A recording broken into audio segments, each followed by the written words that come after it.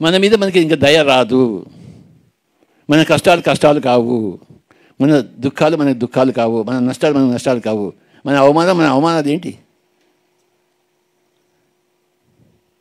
యేసు ప్రభుని మేకులు పెట్టి కొట్టారు.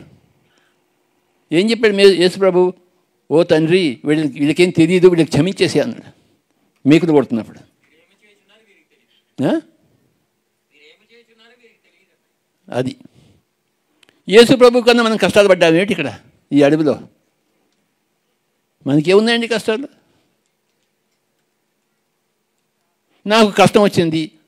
ఒక ఆవిడ వచ్చింది. నా కూతురి పెళ్ళి కావడం అని ఏడుస్తుంది. రామచంద్ర నీ కొడుకు పెళ్ళి అయితే ఎంత పెళ్ళి కాకపోతే ఎంత? నిన్న జరిగింది.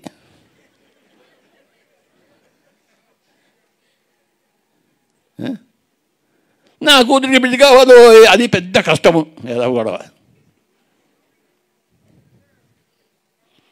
ఇంకోటి వచ్చాడు.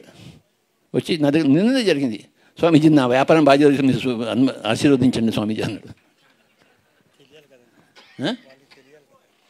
వ్యాపారం జరగదు నేను ఆశీర్వదించాలట. నువ్వు తొందరగా చస్తే బాగుంటుంది ఆశీర్వదిస్తాను. ఏదో నా కొడక. నువ్వు నీ వ్యాపారం నువ్వు నీ కూతురు నీ కూతురు పెళ్ళి. రామచంద్ర. ఏ మనుషులండి?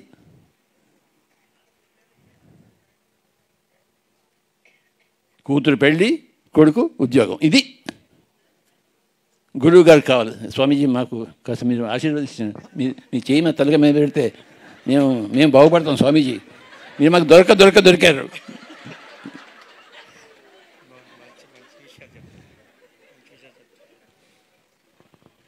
మీ అందరి కూతుర్లు బాగా అంటే మీ స్వామి దగ్గర రండి మీరు. ఆయన ఆశీర్వదిస్తారు మీ కూతురు పెళ్ళి అయిపోతుంది. రామచంద్ర ఎక్కడ తేగ్ బహాదూరు వాడి శిష్యులు? మరి ఎక్కడ మనము? ఎక్కడున్నాం మనం? కూతురు పెళ్ళి దగ్గర ఉన్నాము కొడుకు ఉద్యోగం దగ్గర ఉన్నాం.